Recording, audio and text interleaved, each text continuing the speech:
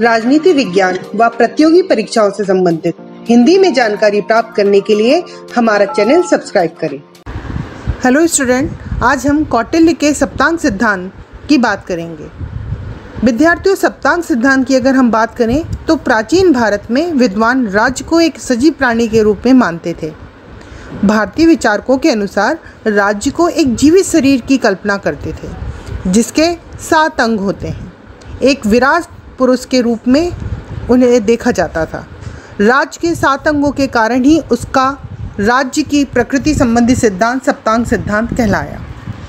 कौटिल्य के अनुसार राज्य के सात अंग हैं, स्वामी, आमत्य, जनपद, दुर्ग, कोष, दंड और मित्र। कौटिल्य के अनुसार राज्य केवल उसी दशा में अच्छा कार्य कर सकता था जब ये सातों अंगों का सहयोग हो। और ये सभी उचित रूप से अपना अपना कार्य कर सकें।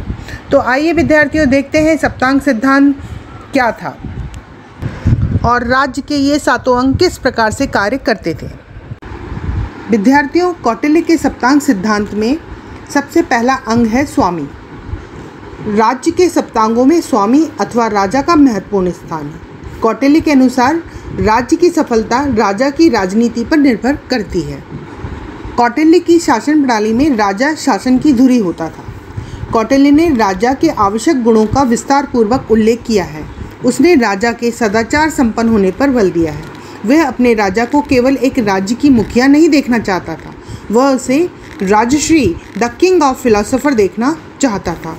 उसके अनुसार राजा को कुलीन धर्म की मर्यादा को चाहने वाला कृतज्ञ, दृढ़ निश्चयी, विचारशील, विवेकपूर्ण, दूरदर्शी, उत्साहित और युद्ध में चतुर होना बताता है। विद्यार्थियों, उपयुक्त गुणों में कौटिल्य के द्वारा बताए हुए नैतिक गुणों को विशेष स्थान वह रखता है।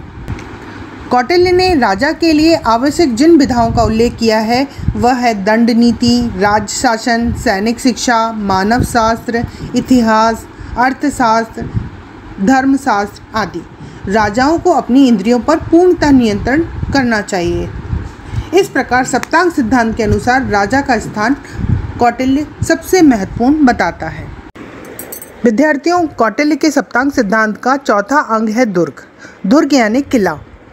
राजा के सप्तांगों में दुर्ग का महत्वपूर्ण स्थान है, क्योंकि राज्य की सुरक्षा के लिए दुर्ग अति आवश्यक है। जनपद के अनेक गुणों में कौटिल्य के अनुसार एक गुण यह भी है कि उसमें स्थान स्थान पर कई दुर्ग हों, जो शत्रुओं से रक्षा कर पाएँ।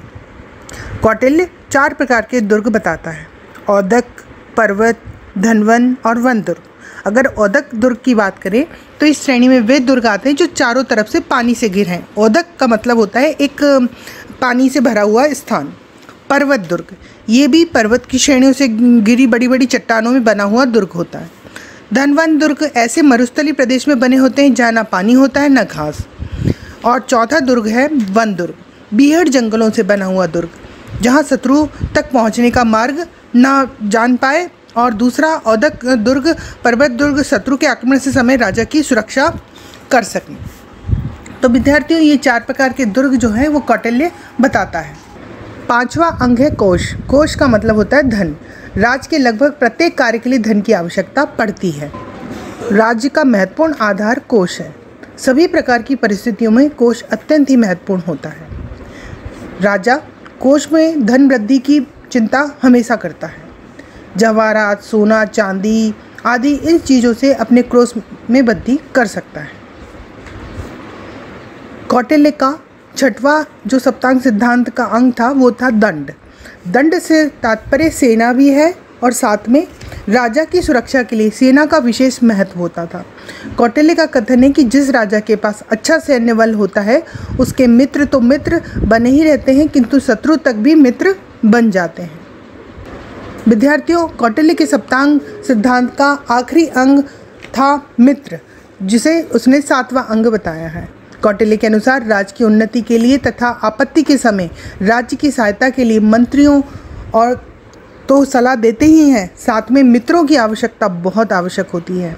इसके लिए आवश्यक कि राजा अपने ऐसे मित्र बनाकर रखे, जो समय पर उसकी सहायता कर सके। विद्यार्थियों, ये था कौटिल्य का सप्तांग सिद्धांत। अंत में हम निष्कर्ष में पहुँचते हुए ये कह सकते हैं कि कौटिल्य एक व्यवहारिक राजनीतिज्ञ थे। उन्होंने जो भी सिद्धांत बनाए, उन्हें स्वयं पर प्रयोग करके देखा।